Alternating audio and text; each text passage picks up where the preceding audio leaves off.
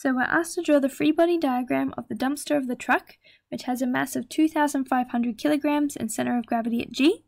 It's supported by a pin at A and a pin-connected hydraulic cylinder BC. So, first thing we're going to do is take out the component we're interested in. So we only are going to draw the free body diagram of this dumpster. So let's take it out. Alright, so the first force that I'm going to apply is the weight of the dumpster itself. So we're told that it has a mass of 2500 kilograms. So we can convert that into a weight by timesing by gravity.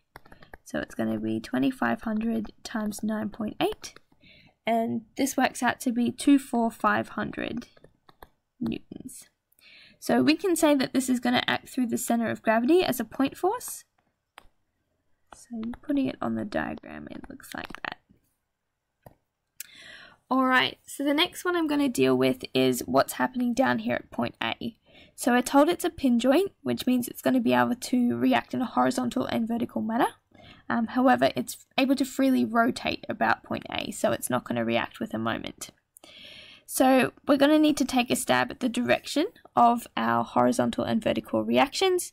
Remember, if we were to follow through with the maths, working out the values of these reactions, if they came out negative, then we'd know that we had the wrong direction and we just flip it over on the diagram. So it doesn't matter too much if you get, yeah, the direction wrong. So I'm going to guess that the vertical component is going to point up to counteract with this one. So that's going to be AY. And we don't know too much about um, the X components. Um, it's going to come from this other one in a second. But I'm going to just take a stab and goes to the right. So now we just need to figure out what's going on with BC. And the trick here is that we can treat BC as a two-force member. Okay, so this is going to mean that um, since it's connected by pin joints on either end, um, it's only going to have a either pure compression or pure tension force within it. So that's going to mean that the direction of the force within this member is the same as the member itself. So if I was to draw it, I'm going to assume it's going to go this way. I'm going to call it FBC, the force inside here.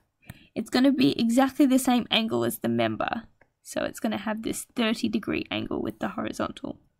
So that's the trick here, is that being able to identify the two force member, um, because that's going to mean that you've got only got three unknowns on your diagram, which is solvable with your three simultaneous equations, um, compared to if you just assumed this was a generic pin joint, um, which had an x and a y component, both of which you wouldn't know, and then you'd end up with four unknowns on the diagram. So if you want a bit more information on two force members, um, there's a separate video discussing them. So this here is the answer for the free body diagram of the dumpster section of the truck. Um, and we'll do a few more questions um, in the following videos, which look at actually calculating um, values of these free body diagrams. So see you in those.